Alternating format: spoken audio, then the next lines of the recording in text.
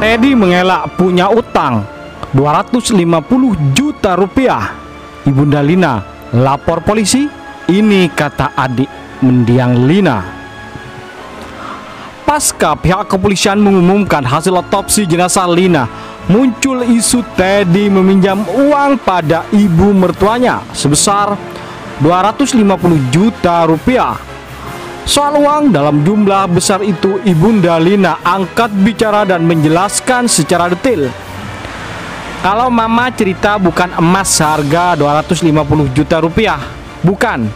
Jadi Kang Teddy ngasih uang ke almarhumah 250 juta untuk gantiin gelang almarhumah yang dijual dua yang mama satu jadi bukan 250 juta yang selama ini beredar di media ujar adik Lina Aryani saat ditemui di kawasan Bandung, Jawa Barat seolah-olah mama diganti uang berupa emas yang seharga 250 juta rupiah itu itu nggak benar Berita ini semakin melebar, semakin simpang siur. Makanya keluarga ingin meluruskan saja berita tentang uang sebesar 250 juta rupiah berupa emas itu nggak ada lanjutnya. Meski jumlah uang yang hilang tak sedikit, namun keluarga belum mau melibatkan pihak berwajib untuk menyelesaikan masalah. Sejauh ini keluarga Lina masih menunggu iktikat baik dari Teddy. Ya, makanya yang diperjuangkan sama keluarga itu bukan uang sedikit gitu makanya tapi kita dari keluarga menunggu itikat baik saja dulu kalau dia tidak ada datang secara baik-baik pasti ada kelanjutannya lapor polisi Tandas Aryani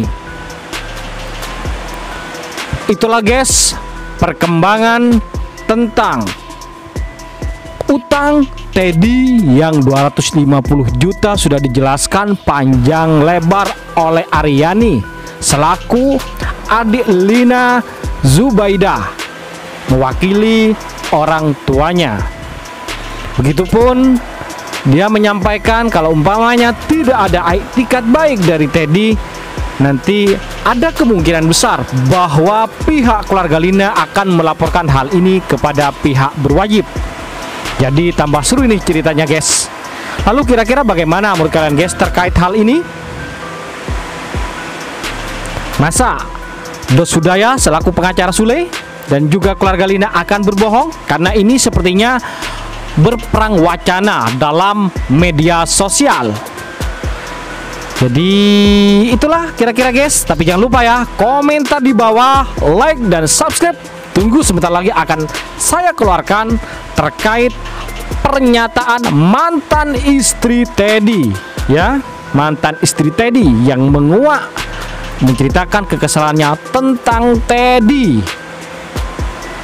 Oke terima kasih telah menonton. Yuk bye bye